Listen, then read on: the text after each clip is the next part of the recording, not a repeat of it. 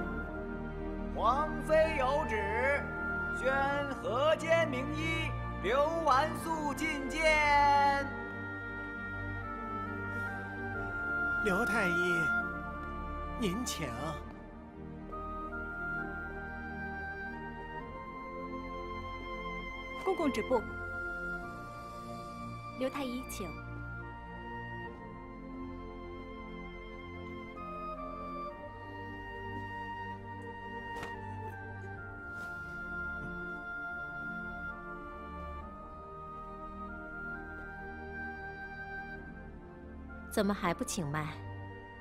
哦，草民乃一介乡下郎中，不懂得宫里的规矩。敢问，给公主请脉有什么规矩或者禁忌吗？嗯，男女授受不亲。我听说汉人的医术很神奇，可以隔着丝线感受病人的脉象。刘老先生是名医，不知道会不会？悬丝诊脉自然是有的，但脉理之位数行驶，脉象之。浮沉迟数，象多尖简，经微远深，虽去之毫厘，却又谬之千里。草民行医六十年，从不敢弄此巧刀，更不敢单以脉象贸然断症，须辅以望闻问切，四诊合参，有时需舍脉从症，有时又需舍症从脉。辩证之道，存乎一心。若定要草民以悬丝诊脉的方法为公主问脉，恐怕会误诊啊。你这位老先生可真有意思，哪有大夫上来就说自己可能会误诊的？虽说是病宜速救，但也需遇事不惑，性命攸关的时候，不是大夫。逞能炫技的时候，我相信你是个好大夫。小公主今年才七岁，给你当重孙女都嫌太小了。你快诊脉吧。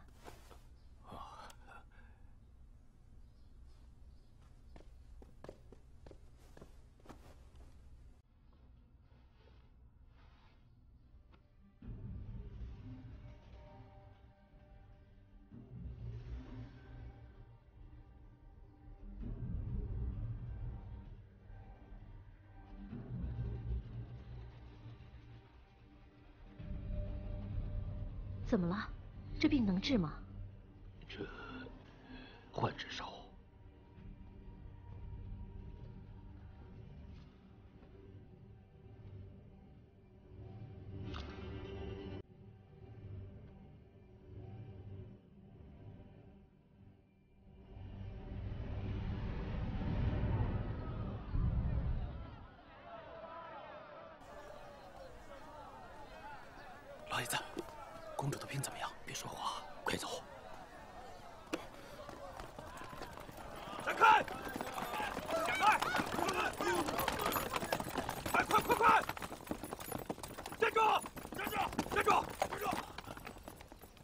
这位就是河间的刘神医吧？哦，我是刘万素。我家王爷的爱妾身体有些不适，想请刘神医到府里去瞧瞧。慢着！慢着！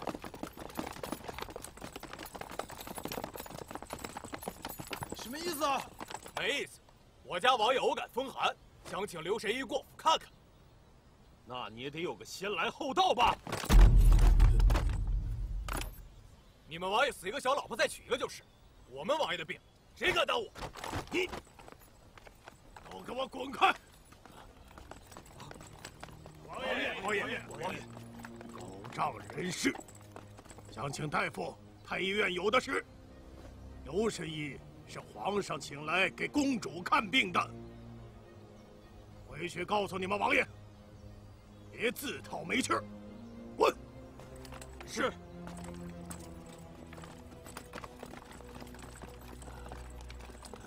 见过王爷。刘神医，可安顿下来了？我就是来接刘大夫的。这位，小道长春真人门下弟子尹志平，刘神医和家师是故交。现住天长观，长春子邱真人，那是先帝亲封的高公仙使，威望崇高，我向来是尊敬的。倘有所需，尽管吩咐这些奴才，谁敢怠慢了神医，我拿谁试问？谢王爷，在下告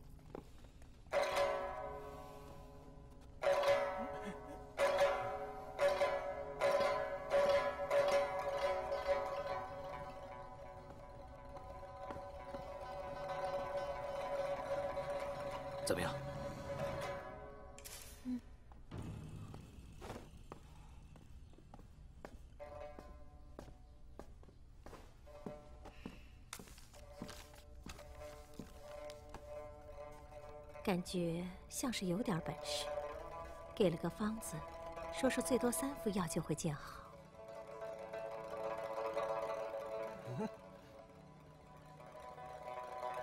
你是不是活腻了？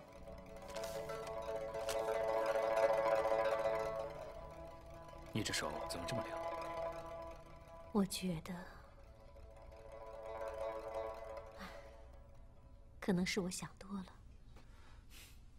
想多了一千次也不打紧，可想少了一次，可能就会波及到朕的江山社稷。我觉得他好像知道了。谁？刘完素，那个乡下大夫。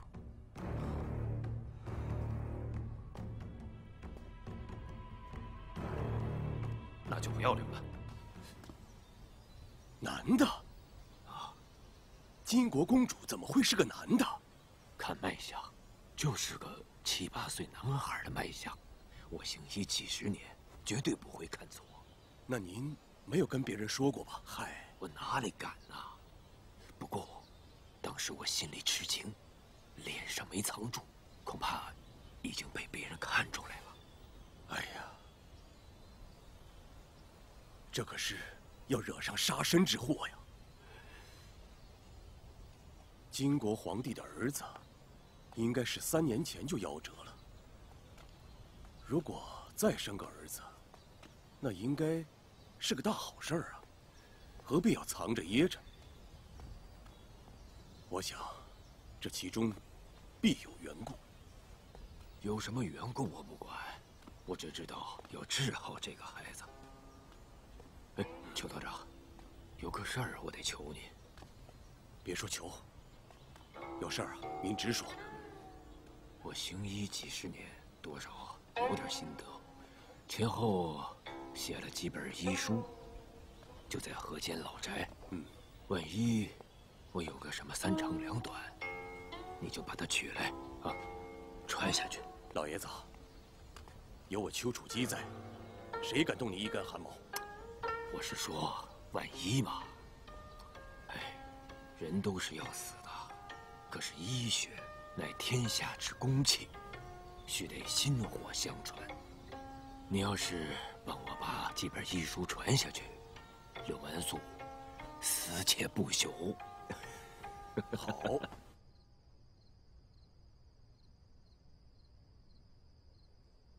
我只想问你们几个一句话：抢大夫的，到底是谁家的狗？我也想知道，到底是谁这么沉不住气？当然不是你，就算是，你也说不是。你什么意思？贼喊捉贼，我看这事儿多半就是你干的。嘿嘿，当然不是我，就算是，我也说不是。嘿，你我觉得誉王不是这种人。嘿，这这算了，都少说一句吧。是谁不是谁，自己心里有数就行了。蠢才干蠢事，那么多御医都治不好，我就不信这刘完素是在世华佗。哼，区区一个公主罢了，治好不治好，也无碍大局。多余的事，以后还是少干为好啊！现在那个皇上，可没咱们当初想的那么听话。不听话，换一个好了，多大点事儿啊！换谁？换你，老子就不服！哎，又来了。当初要不是咱们哥几个窝里斗，如今这皇位哪能轮得到他完颜景啊？等他位置再坐稳一点，我们这几位皇叔的好日子就过到头了。哎，要是能把现在的皇帝换成一个不懂事的娃娃，那就好了。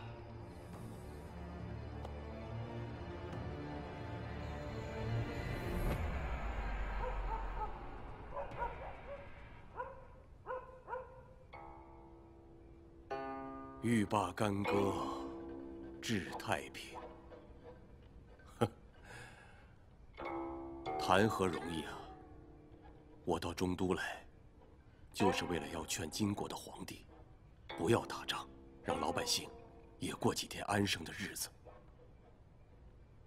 唉，既然你问心无愧，又何以七情郁结，积食不化，以致？气血两亏，元气大耗，这我就好生不解了。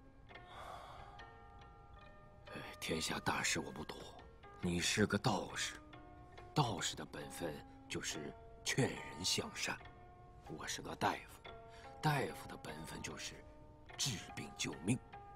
多治一个人，就好比多救一条性命。老爷子，您说实话，我到底？还能活几年？啊！继续用针七日，我再开个方子调理一年。以你的底子，怎么着也应该活个八十来岁。就怕你像重阳真人和马真人那样不听我的劝。来人呐！你没看错，千真万确。下去吧。是。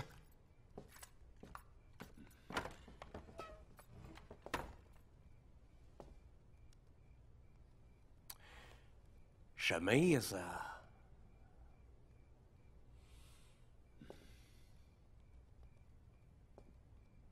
你快说个明白呀！现在大家都在一条船上，有什么事就别藏着掖着了。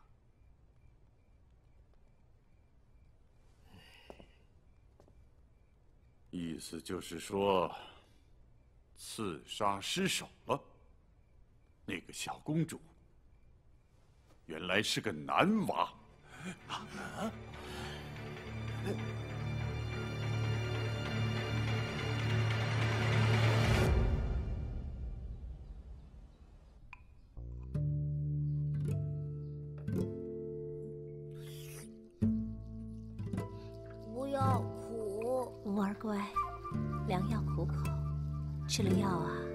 不难受了啊。来，还有一口。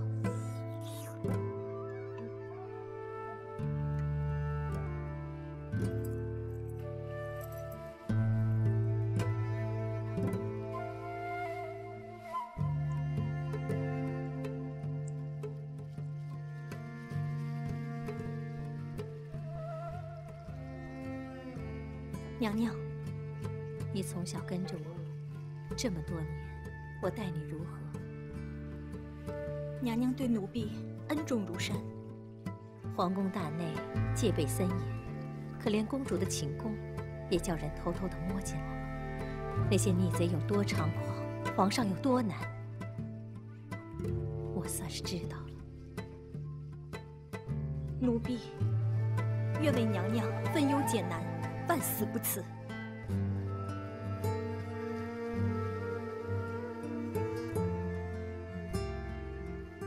听说那个刘完素和全真教的丘处机在一起。刘完素号称神医，丘处机武艺高强，而全真教在民间更是威望极高。哀家想来想去，留在他们身边，倒是比在宫内更安全。娘娘，奴婢该怎么做？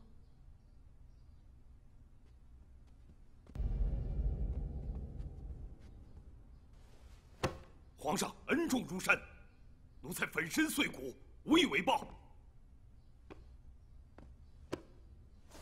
朕不要你粉身碎骨，朕有件事要你去办。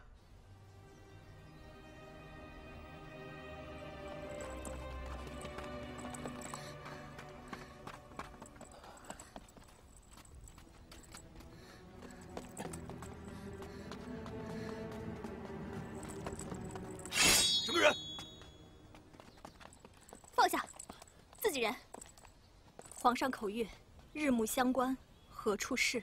玉龙提携为君死。你就是小红玉吧？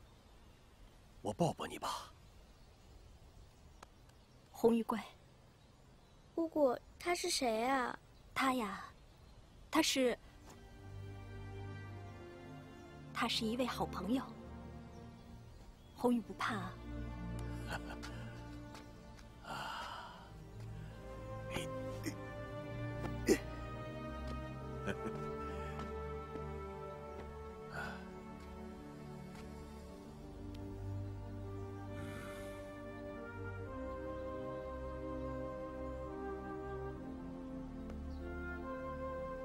现在还是每天给他喝一碗吗？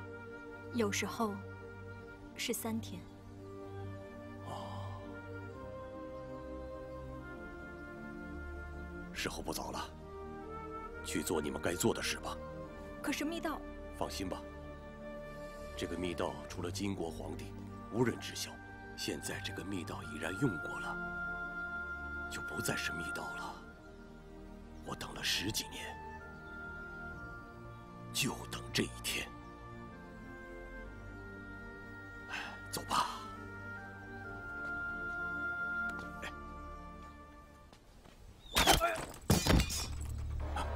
你们快走！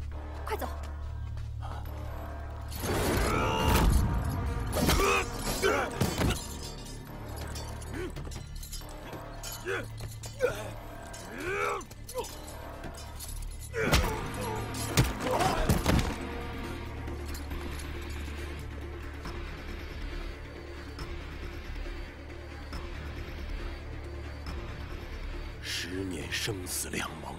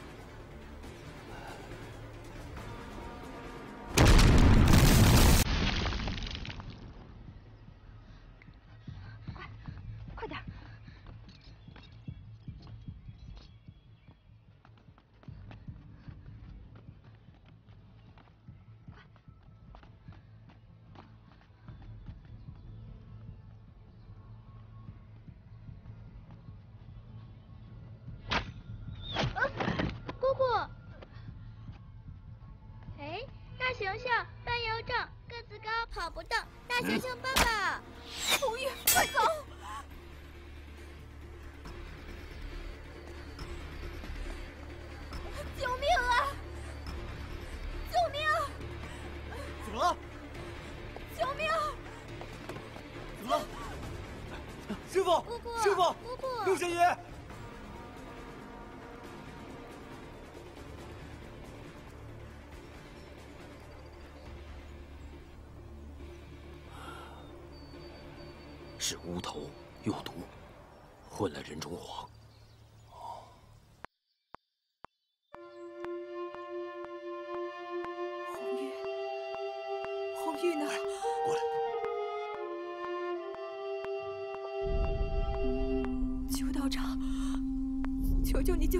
孩子！有人要杀红玉。什么人要杀他？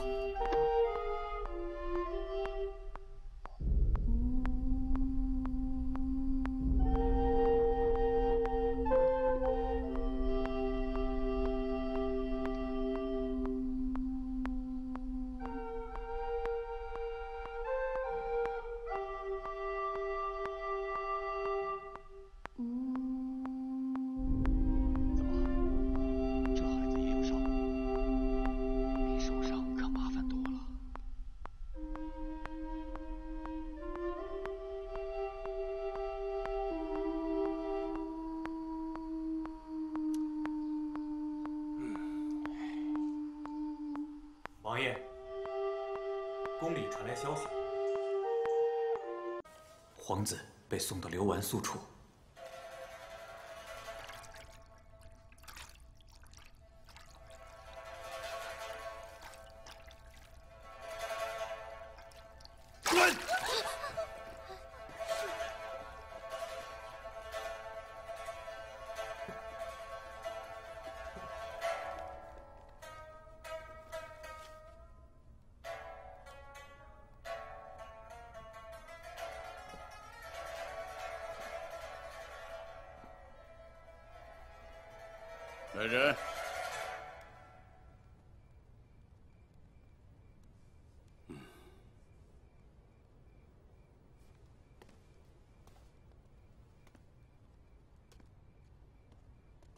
决定把刘老先生和孩子送到安全的地方去。你留下来，要看好这里。要知道，这座天长观是唐朝时候留下来的。皇帝呢，让我主持修缮，还允诺我将先师重阳真人、先师兄丹阳真人的塑像供奉于此。我走以后，如果皇帝问起来，你就说我闭关了。师傅，您身子不好，我留下来是来照顾您的。哎，怎么有刘神医在，你还怕我会死啊？再者说。等闲几十个人，我还是能对付得了的，啊！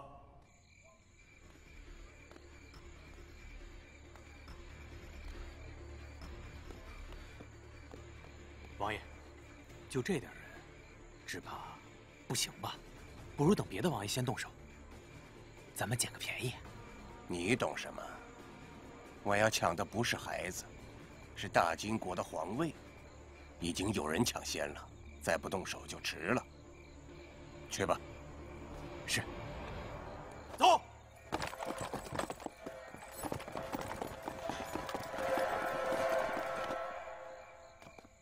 木华，老爷子，还是个孩子，呃，我不能不管。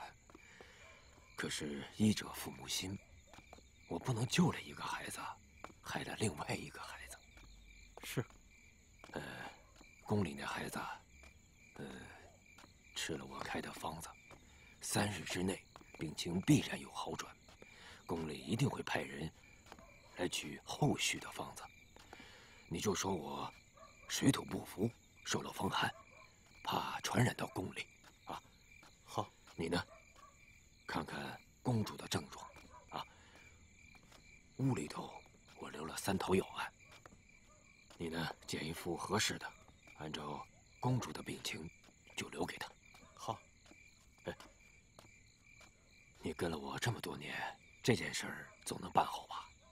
老爷子，这件事我一定办好。啊，那就好。背一段《大医精诚》给我听听。好嘞。凡大医治病，必当安神定志。无欲无求，先发大慈恻隐之心，誓愿普救寒林之苦。若有疾厄来求救者，不得问其贵贱贫富，长幼言痴，怨亲善友，华夷于智，普同一等，皆如至亲之小，亦不得瞻前顾后，自律吉凶，顾惜生命。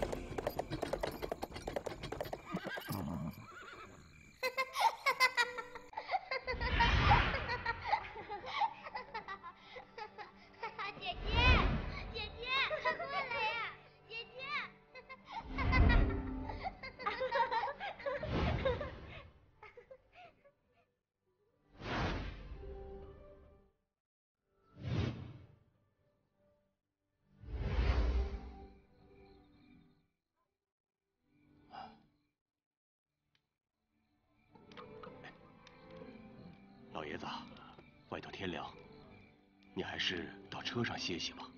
哎小孩子起居易感，有生人在，怕睡不好，就在这儿凑合吧。哎你这身子正在调理，临行的时候我刚给你用过针，七日之内不可乱使力气。那我要是乱使力气呢？如果七日之内乱使力气的话，乱世一次会减寿一年，两次就是两年，三次就是四年，四次就是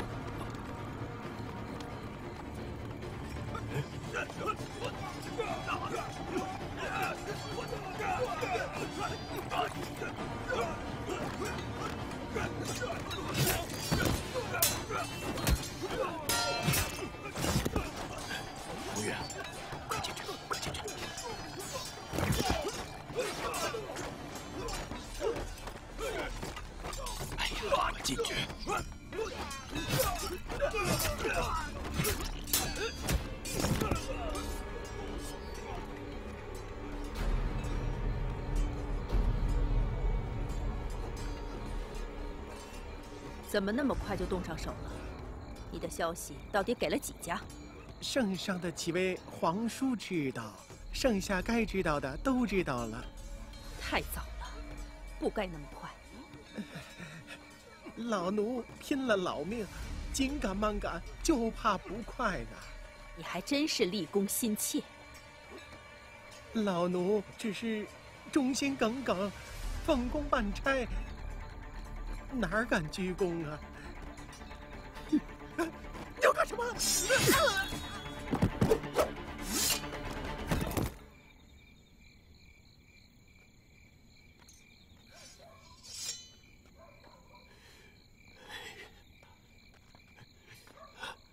不该呀，不该呀！你放心，我没有伤及他们的性命，他们只是受了重伤而已。人命关天，能不死人最好别死人。我爸是天天劝别人不要打仗，不要杀人，可是我自己反而……哎，我钻研医道六十年，每天想着怎么治好那些个病人。你说这些帝王将相，怎么就这么的草菅人命呢？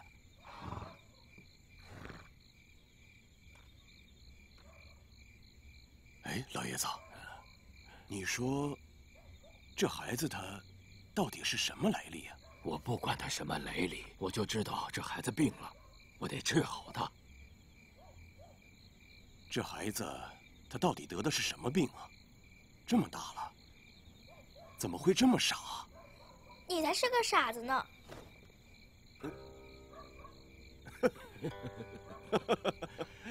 仰望菩萨保佑，他不傻。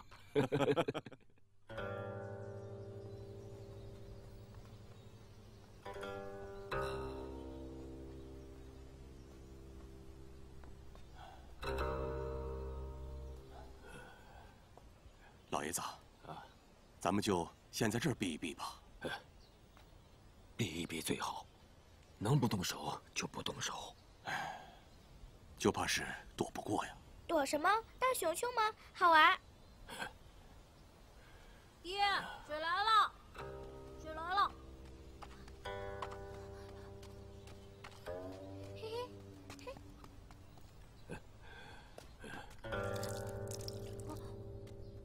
嗯，他是谁呀？水，我要水，水来。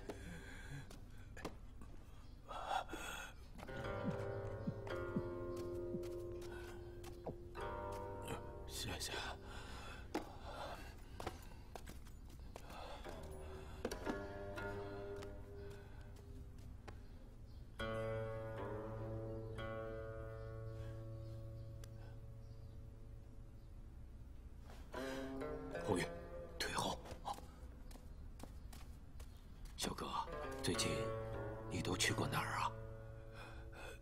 冀州、登州、中都、保州，闯荡江湖，哪里都去。老爷子，他有什么问题啊？伤寒，伤寒。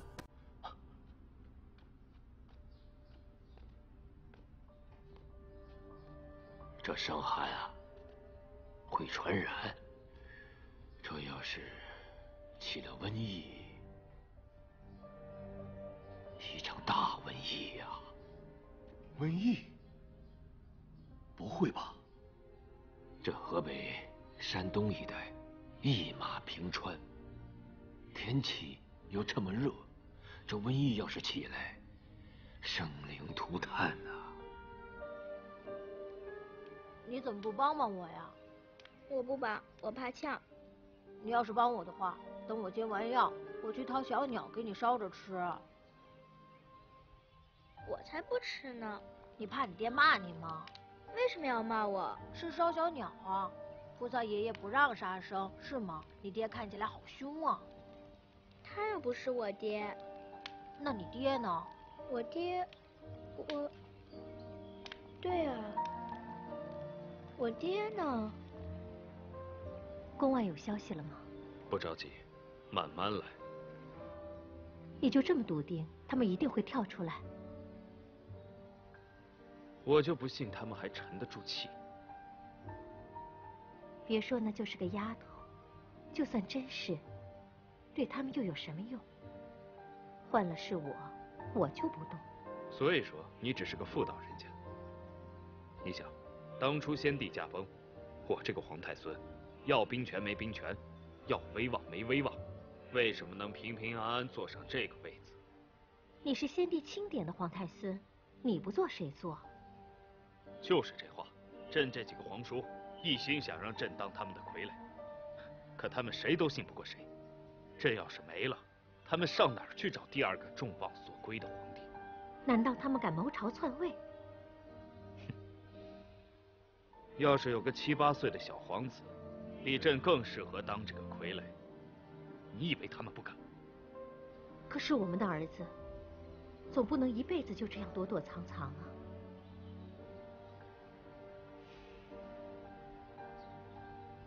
不会的，再给朕三年，不，两年，朕就有底气昭告天下，朕有儿子，朕的忒灵孩儿，还好端端的活着。老爷子，你先看着病人，我到集市上去打探消息，顺便再去抓几副药。呃，再添几味药，银花、连翘、公英各三钱，还有桔梗、竹叶、枳桑皮、菊花和黄精各两钱，还有薄荷、荆芥。哎，老爷子，他得的是伤寒啊！我我知道，这是我最得意的银翘加减方，专治伤寒。可你开的都是良药啊，哪有以寒治寒的道理啊？外感风邪，他体内阴气太盛，阳薄于表。你这几味良药，这么一下去，把他阳气一逼，那还不烧坏他脑子？以寒治寒，是我钻研医道多年开辟的一条西径，自有我的道理。《黄帝内经·素问篇》有云：“呃，慢点，你给我看啊！你刚才说什么？烧坏了脑子？啊？来呀，快过来！哎哎，快过来呀！呃，我抓到你了！哈哈哈！闪开！闪开！闪开！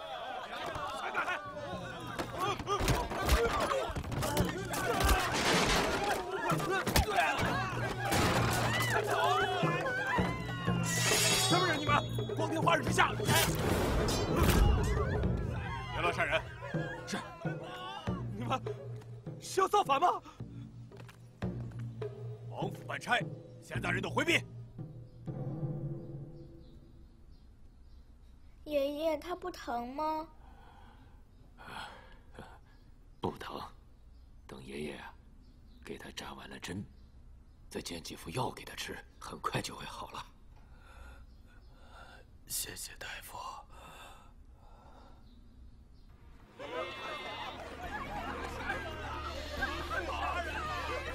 哎，这位小哥，前面出什么情况？两个蒙面人把官兵杀了。什么？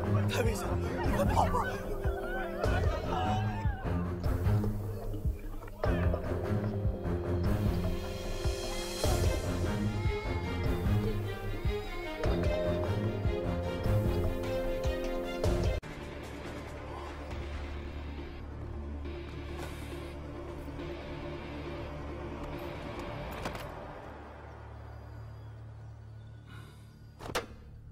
全都死光了，又不是你杀的，那到底会是谁呢？究竟是几路人马？我也觉得蹊跷。想不通就别想了，这世上的事儿啊，不是所有的事情都能够想通的。老爷子，等治好了病，我们也找个僻静的地方，先躲几天。等过了这七天，我的身体好了，便是什么妖魔鬼怪，我丘处机一生，怕过谁呀？哎，不能躲起来，瘟疫就要来了，我得去通知太医，得去通知官府，召集大夫，准备药材，救人如救火，我耽误不起这七天。这河北燕赵之地，不止你一个大夫吧？伤寒这病啊，自打炎帝、黄帝那会儿，肆虐华夏有几千年了。寻常的大夫呢，治疗伤寒，一半靠医术，一半靠天意，最多也就有五成的把握吧。那要是你呢？呃，若是由我出手来医治。只要是病情耽误的不狠的情况下，总有七成的把握吧。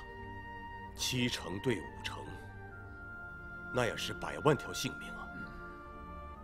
好，为了山东、河北百万条性命，我丘处机区区一条性命，又算得了什么呢？哎，成千上万条命是命。你一个人的命也是命，我不能让你邱道长为了我去拼命。哎，我们呀，去保州。我们去保州干什么？我想过了，保州呢是离这儿最近的通都大邑，啊，人一多，那几个蒙面人啊，多少得有点顾忌。再说了，保州人多，藏起来也容易。瘟疫要是来了，救人也容易。好，我们就去保州。撤，撤！我们杀了那么多王府家丁，不就是为了这个刘完素吗？你我联手，那个丘处机绝对不是对手。我告诉你，我从没杀过恩人。刘完素是你恩人？二十年前河北闹瘟疫，是这刘神医救了我。哦，你们认识？我认识他，他可不认识我。他救过的病人成千上万，哪里都记得住。哎，杀不杀刘完素随你，反正那是你的差事，又不是我的。那皇上给你的差事又是什么？皇上密旨，让我暗中跟着小公主，保护她，别让别人给她抓了，但是也别让她停下来。你没听错，皇上让你保护的是小公主，不是个小皇子。哪儿来的小皇子？小皇子不是在宫里吗？等等，你怎么会不知道？你不是皇上派来的人。皇上可没说过，小皇子还在宫里呢。也是，这是天大的秘密，你怎么可能知道？既然你我不打不相识，要不然我替你杀了刘完素，免得你为难。那我可太谢谢你了，了却了我一桩心事。不客气。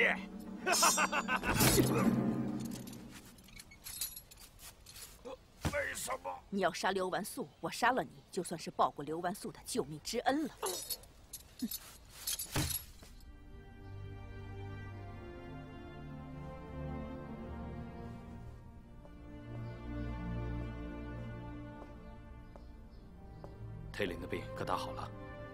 吃了三副药，像是好了很多。早上我派人去请那个刘完素，他徒弟说他病了，可是又留下来第二张方子，说是最多三副药就可痊愈了。病了？他不是跑了吗？怎么还能开方子？就是因为跑了，才要提前开出方子，掩人耳目吗？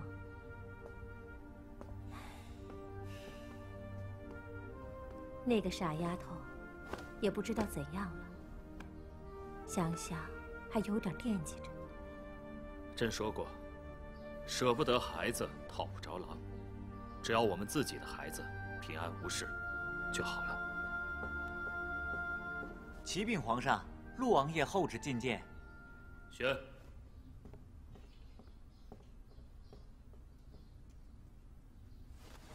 朕这几个皇叔啊，也就只有陆王对朕是忠心耿耿。哎，能让朕信得过呀？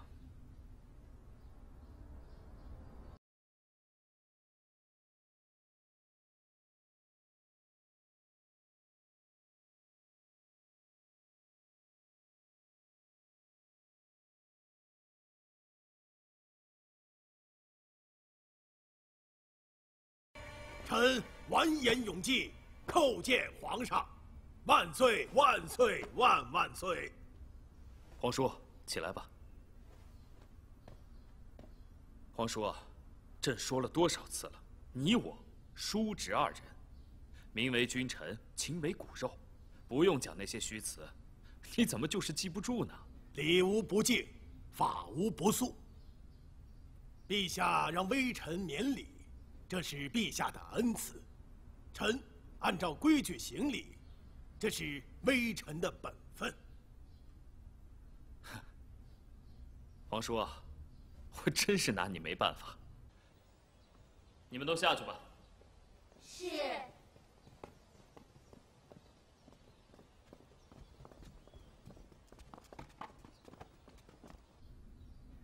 朕让你办的差事怎么样了？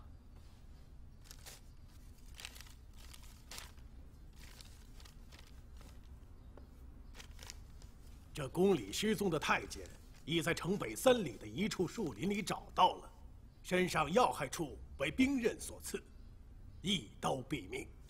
这是被灭口了。这名失踪的太监，在离宫之后，失踪之前，共和五名可疑之人有过接触。这五名可疑之人，分别来自五个不同的王府：赵王、郑王、越王。誉王，还有谁？启禀皇上，剩下一可疑之人，乃是臣府上的管家。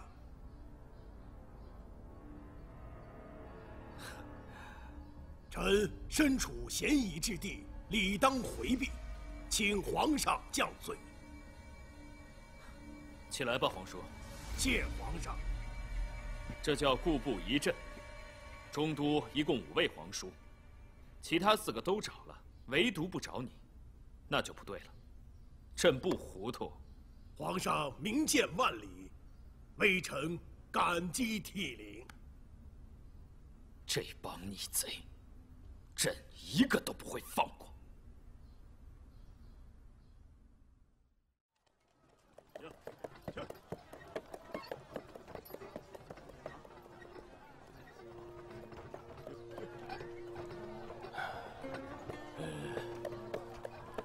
那儿休息一下。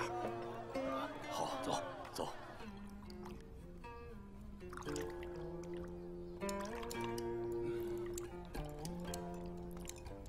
红玉啊，喝点汤。嗯，我不喝马啡汤。马啡汤。红玉，告诉爷爷，你为什么喝马啡汤啊？费姑姑说不乖叫法喝马啡汤。费姑红玉你乖不乖呀？红玉最乖了，可费姑姑总说红玉不乖。你多长时间喝一次麻沸汤啊？嗯，忘了。嗯麻沸汤是什么味儿啊？很苦，不好喝。红玉啊，那你喝完麻沸汤会觉得怎么样啊？很困，想睡觉。老爷子，这潭水可越来越深了。先不管他，当下我们先干正事儿要紧。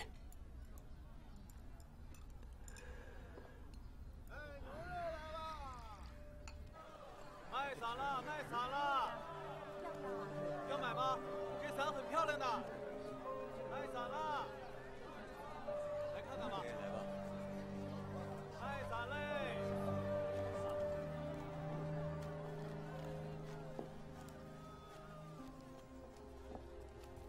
掌柜的在吗？嗯，我就是掌柜的，你找我有事儿啊？我们是山东来的药商，到你这儿来采购药材。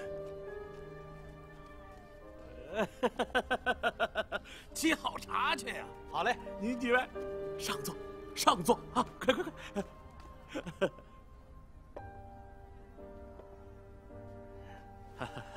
您请喝茶。先不忙喝茶。我需要的药材量比较大，恐怕你这间铺子 你看你说的，我这么跟你说吧，我这个铺子，在全保州府那是最老字号的药铺了。你需要什么药材，我这儿准有，哪怕一时不就手没关系，方圆五百里地，我给您调配齐了。好。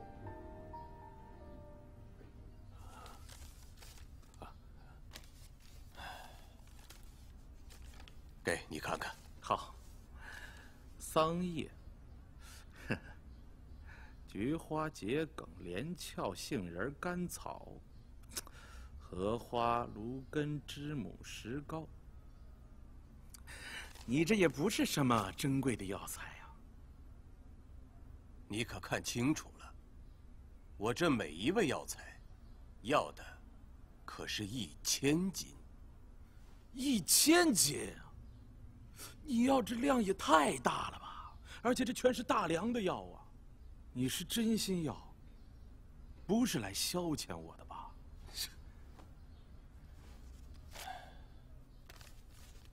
这个是定金。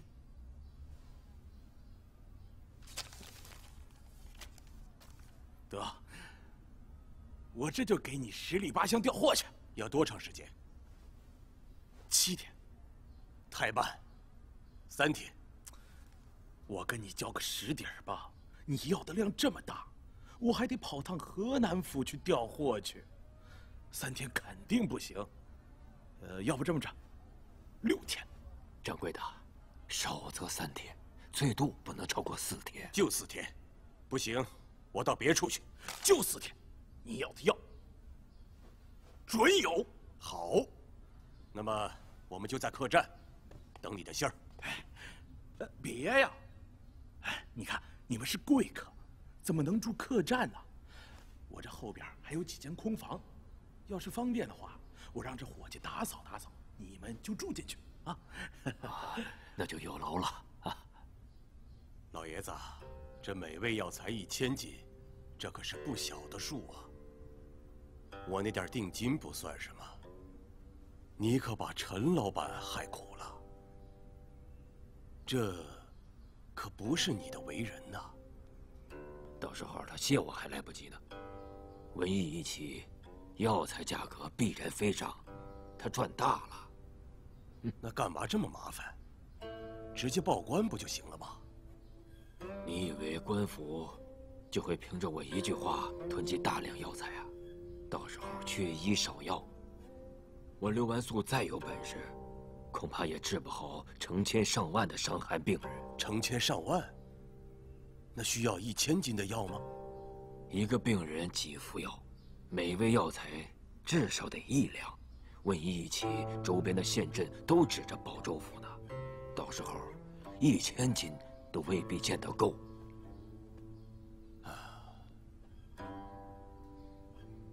小医医病，中医医人，大医医国呀！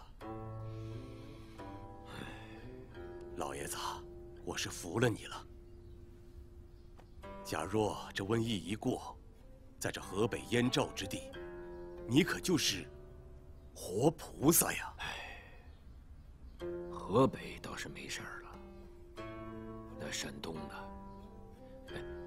那可是你的老家呀！我心里也惦记着山东呢，可是鞭长莫及呀。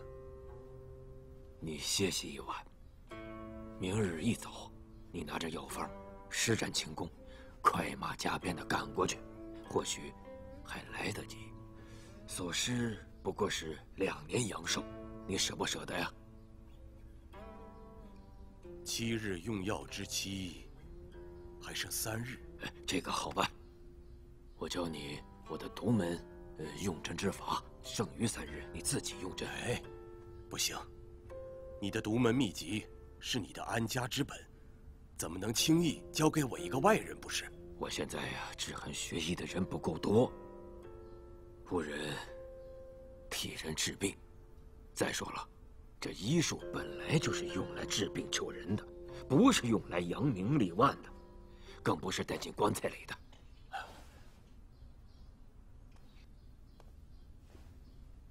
师傅在上，请受我一拜。坐坐坐坐坐。我教你用针的时候，你是我的弟子；其他的时刻，我们是朋友，明白吗？弟子明白。嗯，走进屋，我教你用针。好。哎，不行，我若走了。那些杀手追来怎么办？这宝州府这么大，他轻易找不着我跟红玉。不行，还是不行。是我刘完素一个人的命要紧，还是山东百万生命要紧呢？这可是你教我的。百万条命是命，你的一条命也是命。我可不能把你抛下不管。你不光是我的师傅，还是我的朋友，不是？我有一个两全其美的办法。去去去去去去！老爷子，你可做好了？到了这个地步，大家就不要装糊涂了，都敞开说。孩子一旦到了山东，那咱们就真的……鞭长莫及了，这我也是这个意思。都是聪明人，可惜呀，都太聪明了，最后都变成傻子了。所以，我们这回真得当回傻子。大家都把自己手里的牌九拿出来，亮一下，看看能不能凑一份天牌，跟庄家比比大小。至于完颜景那个小崽子。我们谁得了手，回来，我们就先废了这个完颜景，再一起扶正，谁也不许独吞。那是自然。你信吗？我信。才怪呢！阴阳怪气的。既然谁也不信谁，那就各安天命了。谁得到手算谁的。嗯。宝塔尖冲破天，上天去当神仙。红玉啊！啊，爷爷。红玉，乖啊，来吃药了啊！来吃药。哎，这是什么呀？是给我的吗？是。哎呦，爷爷真好看。红玉真乖，来吃口药啊！哎，来，嗯。嗯，苦 苦。红玉，良药苦口啊！你得病了，得病就得吃药。嗯，不要不要，红玉最乖了，不要喝吗啡汤。再喝一口。不要。哎，这不是吗啡。哎，好吧。哎，我去给你弄点甘草来。哎呀，哎呀，要是有点蜂蜜就更好了。哎。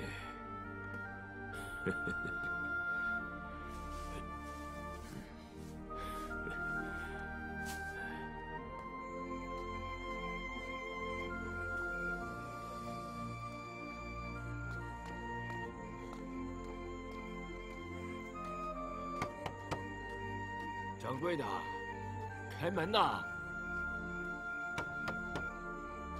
来了。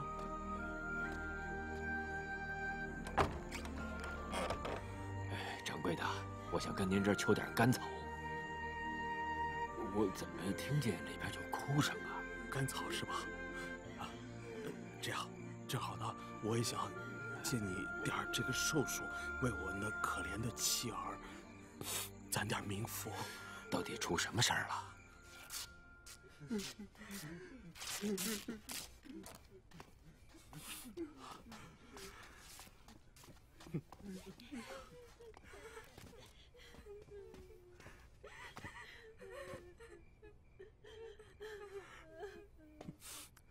刘老先生，烦劳你呢，给我死去的妻儿上炷香，让他们呀也沾沾你的寿气。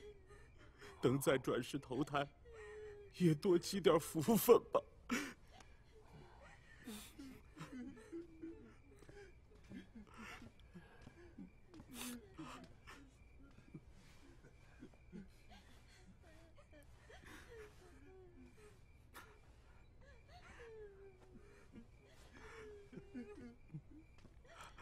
刘老先生，我给你拿甘草去。陈老板，我想问问，尊夫人是什么时候走的？这几日我忙着去筹备药材，可谁成想回来的路上得到信儿，难产了。没找大夫给看看吗？宝州府有个有名的李回春李太医呀。刘老先生，等我回来，人都没了。掌柜的，我能看一眼吗？你瞧，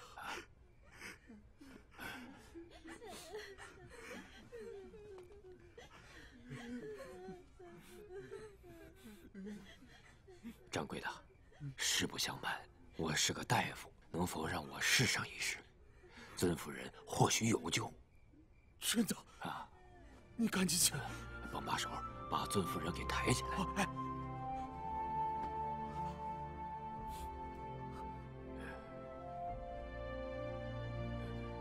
架起来，得掐着他人中。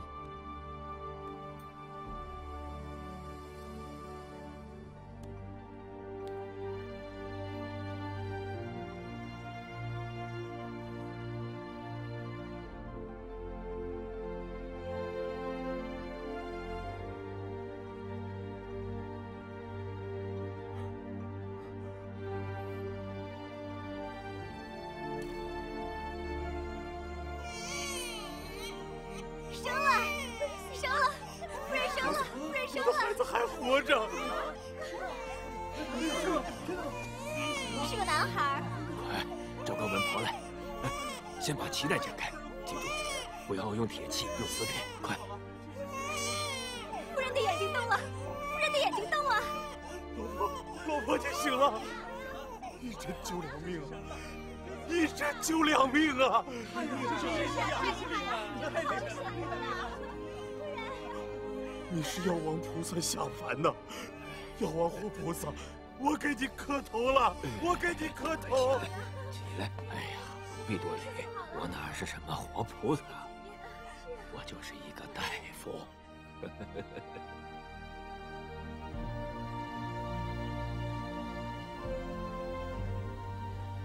来来来来，加个碗。哎，好嘞。小二，来壶茶。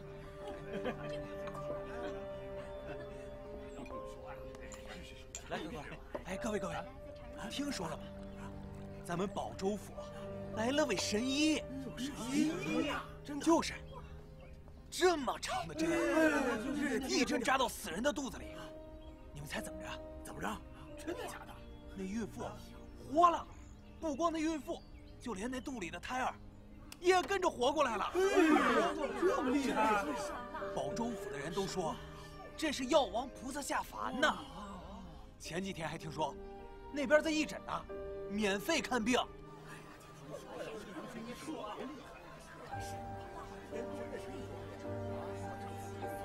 宝州府李太医的，闲杂人等闪开。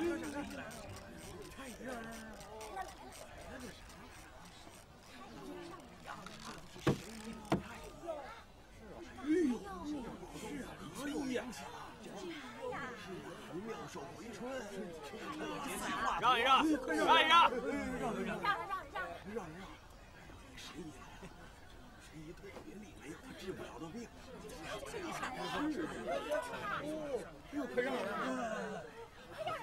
让让让让！宝州李回春，求见神医。这回两个神医呀！两个神医啊，不得了了，得了啊！真厉害！看看看看。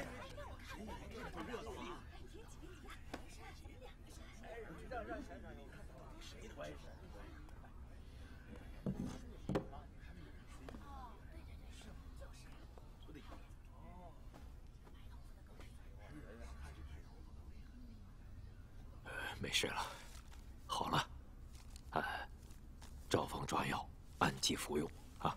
谢谢，谢谢神医。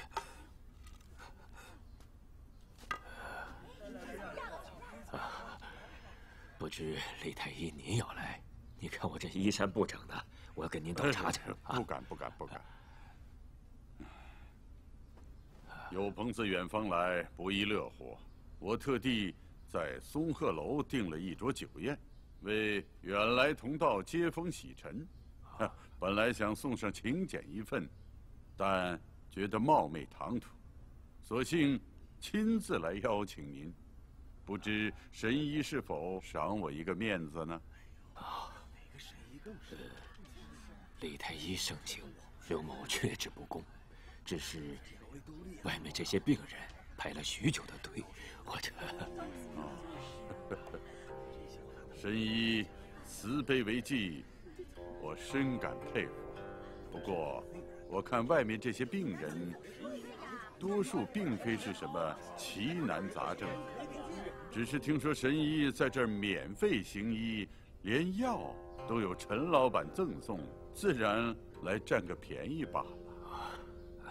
这样吧，我一会儿派四个弟子。帮助神医您接诊。若真有非神医不可的奇难病症，再请教神医如何？哦，那既然如此，容我更衣。且慢，只是我还不知神医的尊姓大名。啊河间刘完素。您的菜齐了，请慢用。李太医啊，这么多菜，太浪费了。为何不让你那些高足一起来吃啊？呃，啊，刘神医啊，这莲藕在集市上不过五文钱一斤，可是做成了藕片，上了酒席，它可就要变成五百文一盘了。此所谓君子不重。则不威呀！夫一人相与，满堂不乐，而况病人苦楚，不离思绪。而医者安然欢愉，傲然自得，自乃人神之所共持，治人之所不为，斯盖医之本意也。刘神医，你背的这段《大医精诚》，分明是指着鼻子在骂我呀！无妨无妨，这大义京城，绝好的文章，我会背。不但我会背，我门下三十位弟子，人人都会背。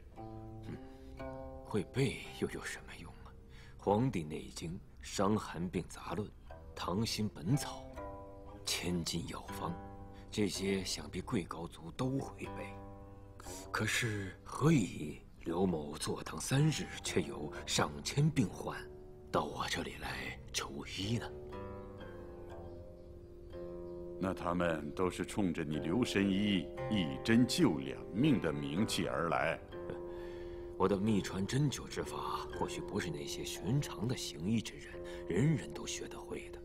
可是，治疗手脚冻疮的艾灸之法，难道李太医就没传给你的徒弟吗？哎，刘神医啊，你不必拿大话来搪塞我。你在河间，我在宝州。我们彼此井水不犯河水，你来宝州，炫技扬名也就罢了，搞什么免费行医、免费赠药？你分明是摆着要砸我李回春和弟子们的饭碗呢！李太医，你可知瘟疫将至？刘神医，你还能未卜先知啊？李太医，何为伤寒？热病者伤寒也。伤寒何所困？风寒暑湿燥热各随其气，伤寒何所惑？感于邪，外邪入侵，疾病伤寒。何人易患伤寒？体虚者、气弱者、饥饿者，乃至于伤寒病交接者。刘某在宝州行医三日，接诊病人八十七人，有伤寒初步症状者。五十九人皆都是些沿街行乞的乞丐，或者是走街串巷的商贩。如果说瘟疫将至，先前不过是刘某的猜测，现下却是确凿无疑的事实，而且就在这一两日之内。啊，此话当真？千真万确。李太医，您要去哪儿啊？我去召集弟子。搜罗药材，免费开堂诊，行医散药，应对瘟疫。李太医，真出现瘟疫，那少说也得死上几万人呐！我李回春，虽说贪财好名，但我却懂得覆巢之下无完卵的道理。何况我李回春还是个大夫。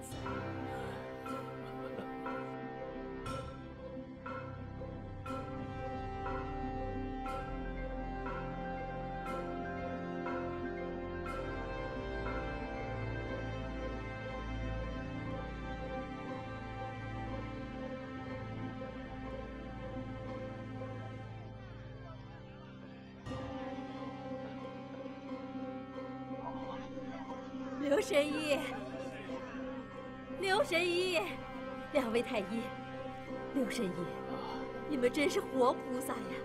要不是你们，我那三个儿子恐怕都难逃过这一劫。我没有钱，这两篮子鸡蛋是我攒下来的，全当我老婆子的一片心意。谢谢你啊！不谢不谢。现在外面闹伤寒，回家好好休息。不要四处乱跑了，啊！多谢了，刘神医啊，我还真以为你是一个不食人间烟火的圣人。我若不收下，老太太未必能心安。哎，今天中午都多加俩菜，你的徒弟们也辛苦了啊！爷爷爷爷，我长大也要当神医。哎呦，好啊，红玉有志气啊！啊！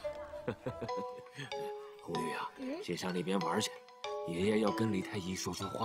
好，去吧。李太医啊，还有一事要同你商议。什么事？屋里请，咱们里边谈。啊，这样，呃，得伤寒病的呀，给大家喝这个桑菊饮。来，把桶放下来，来来，都放这边来。哎，大家一个个排队啊，每个人一碗啊。来，都成都成，排好队，来。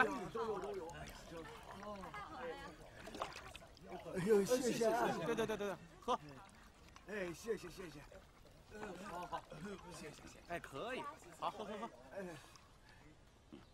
谢谢。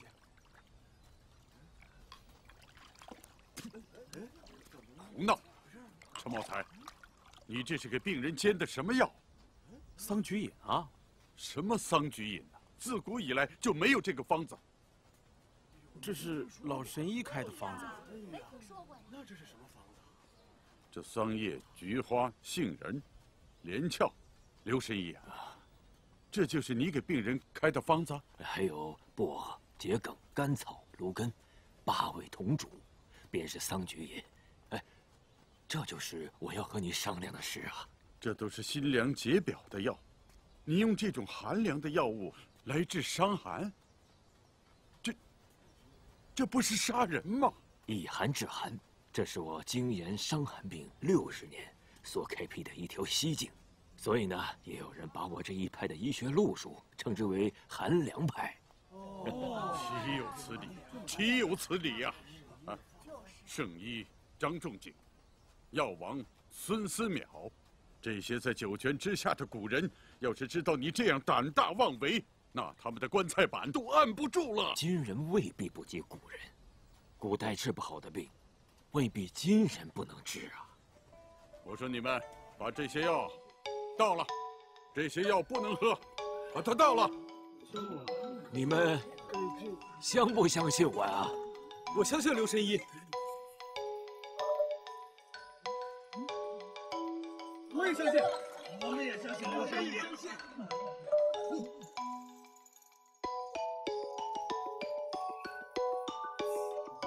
桃李不言，下自成蹊。刘神医，算你赢了。李太医，伤寒易起，已然十余日，似乎是以中都、保州、冀州、登州为中心，向周边蔓延。哎，这登州为何死人最少？三日前，接登州知府来报，全真教丘处机已经回到了山东，正组织全真教弟子在冀州、登州两处看病施药，救人无数。那宝州呢？宝州知府回报，当地名医李回春正组织门下弟子进行义诊。听说有一个神医也在宝州，之前曾经一针救两命，把一个死去的孕妇救活，并顺利诞下胎儿。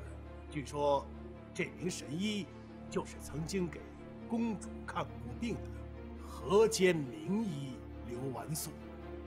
哦，这刘完素人在保州，是，据说还带着一个十来岁的孩子，是男孩还是女孩？有时候是男的，有时候又是女的。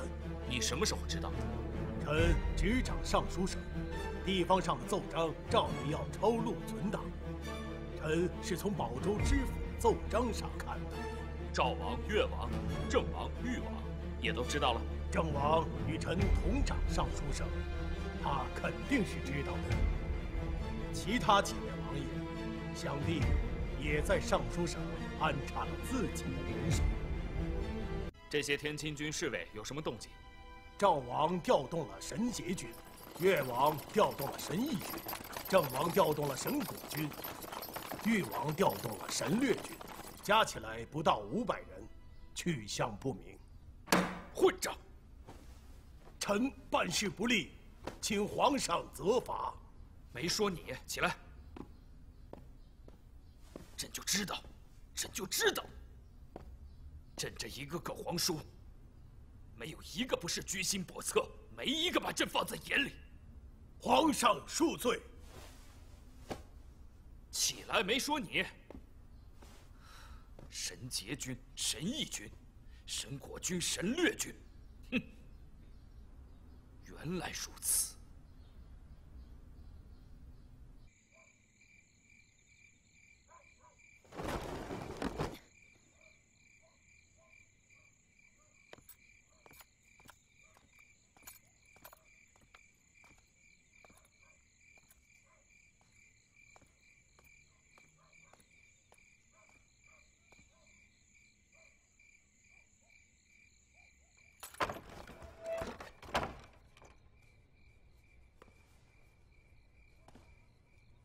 关门，外面风大，别让孩子着了凉。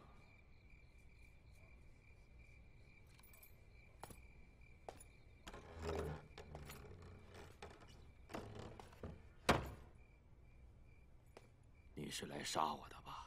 你为什么不逃？反正也躲不掉，何必耽误给孩子治病呢？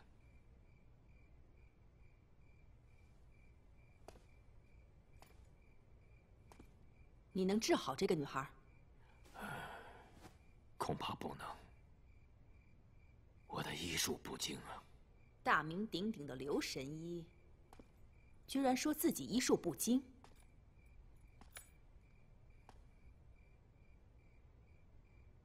医学之道无穷无尽，哪怕是过了一千年，世上恐怕也有多半的病治不好。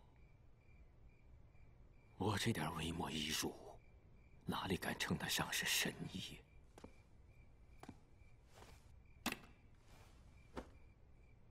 你真是个好人，好大夫。我杀你是不义，不杀你是不忠，忠义不能两全，我还是只好杀了你。可不可以看在我是一个好人、一个好大夫的份上，答应我一件事儿？好，你问吧。问什么？你不是想知道我为什么要杀你？还有那个小姑娘到底是怎么回事吗？我会在杀你之前，全部都告诉你，让你死个明白的。哦，我倒是真想知道，可是我想求你的不是这件事。那是什么？这些天呢，我看到很多陆陆续续从中都逃难过来的人，听说中都起了瘟疫，死了很多人。我这心里头实在是难受。你要求我什么？你带我回到中都，等我把瘟疫的势头给控制住，你再来杀我。丘处机已经回山东了。中都只有一个年轻的弟子，根本不是我的对手。就算回了中都，也没人能救你，你还是难逃一死。我知道，你带我回中都，我可以医好很多人，或许能有成千上万的人逃过一死。那我们现在就走吧。呃，呃，那稍等啊，等我把这个写完。你在写什么？这个是红玉的医案。我可能治不好他的病，可是我把医案留下来，别的人就能少走很多弯路。你可以带着他一起走，想杀他的人，我都干掉了。你跟要杀他的人不是一伙的。你要杀的是我。对，我没想杀他。大概已经没有人想杀他了。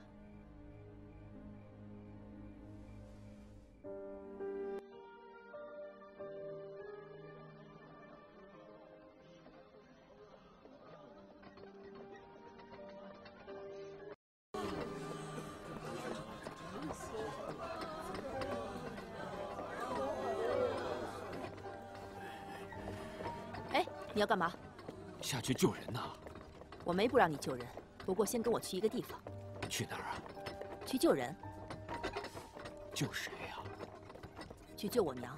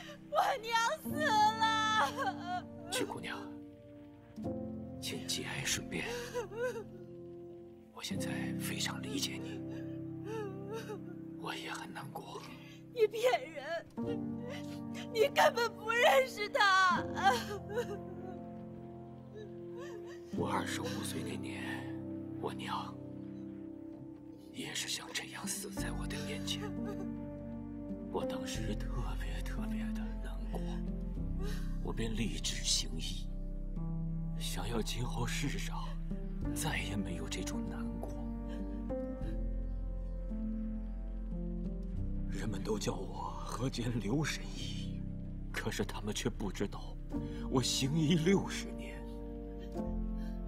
曾经因为自己的医术不精，或者是医治不及时，先后有一百三十一个人死在了我的面前。每次见到人们死去，我都像见到自己的母亲死去一样，特别难过。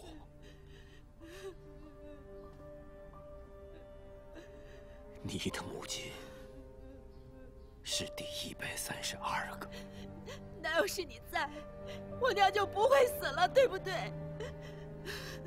我不知道，或许吧。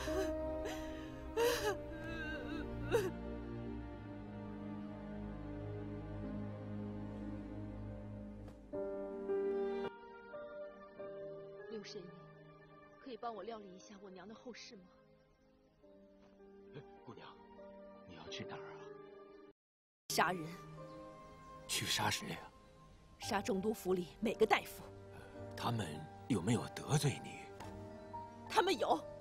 你在宝州救了那么多人，为什么中都府里的大夫都没有救我娘？哎宝州是我和邱道长未雨绸缪，提前囤积了很多药材。城里边伤寒病人成千上万，哪有那么多药材呀？不是他们的错。那我去杀了中都府的府尹，明明知道瘟疫要来了，为什么他们不囤积药材？瘟疫要来，是我凭经验做出的预判。中都府尹又不是大夫，怎么能够未卜先知的囤积药材？这也不是他的错。那到底是谁的错？我该杀了谁才可以给我娘报仇？这一路从宝州到中都，死在你剑下的那些人，他们也有娘，也有妻子儿女，也有人为他们哭，为他们难过。他们找谁出气呀？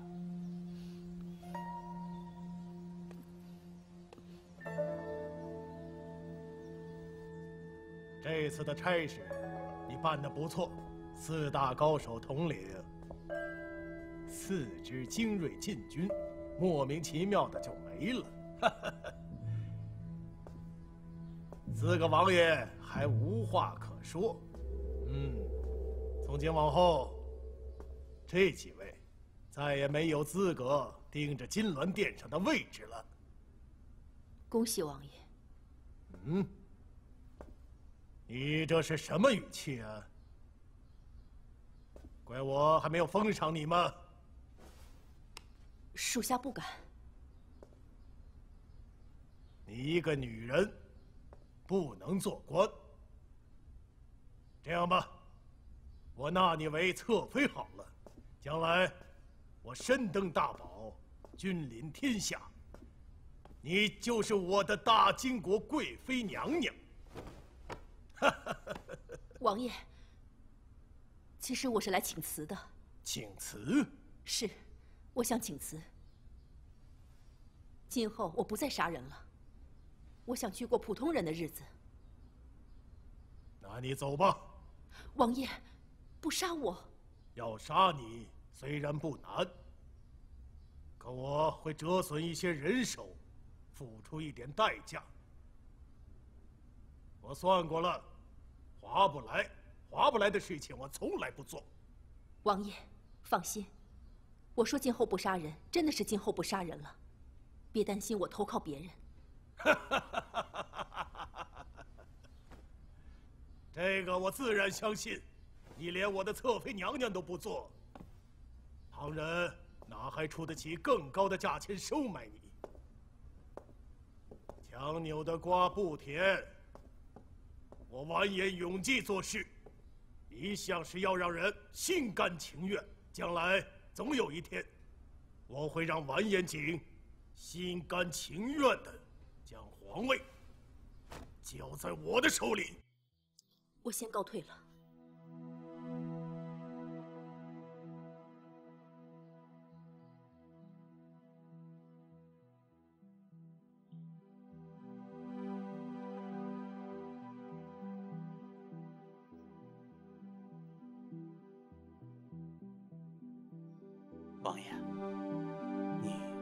真就让他这么走了？走就走了吧。他是个蠢人，你不一样，你是个聪明人。王爷，命散了。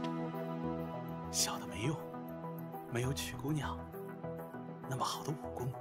你怎么会没用？你比曲如梅可有用多了。皇帝皇后机关算尽，只是犯了两个错误。一个就是不该小瞧了我，另一个就是不该小瞧了大夫。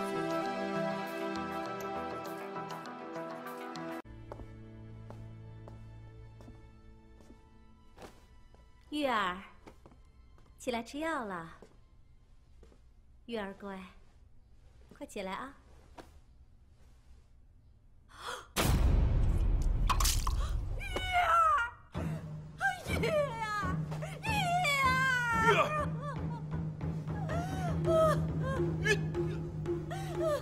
皇上，皇上，皇上，皇上，玉儿，皇上，皇上，快闪太医，快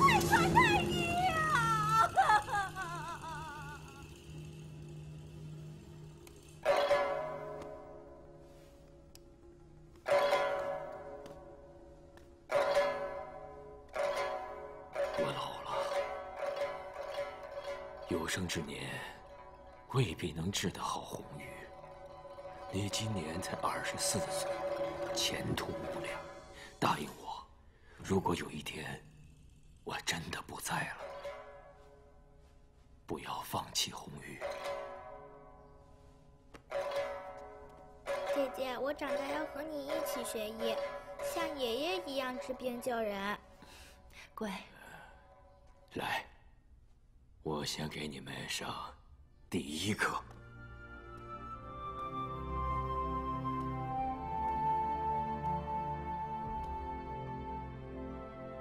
凡大医治病，凡大医治病，必当安神定志，必当安神定志，无欲无求，无欲无求。先发大慈恻隐之心，先发大慈恻隐之心，是愿普救寒灵之苦。若有疾厄来求救者，不得问其贵贱贫富，长幼言痴，长幼言痴，华夷于智，华夷于智，普同一等，普同一等，皆如至亲同享，皆如至亲同享，亦不得瞻前顾后，亦不得瞻前顾后，自律吉凶，自律吉凶，护惜生命，护惜生命。